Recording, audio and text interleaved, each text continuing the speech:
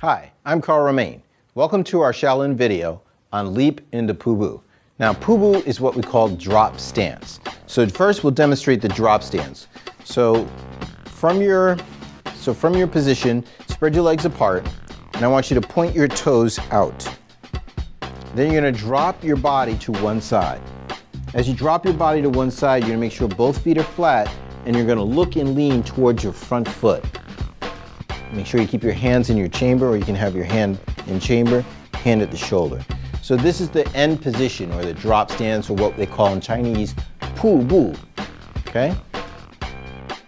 Now to leap, we're gonna break it down into pieces. First, block the knee, hand back. Step down, raise your arms up and over and over towards the right. And as you do it towards the right, you're gonna look at your hands. Now you're gonna lift your other knee, and jump off your left foot. Now drop down into Pubu. Okay, now we'll do it a little bit faster. So we're gonna set up, block the knee position, and begin. And one more time. And go.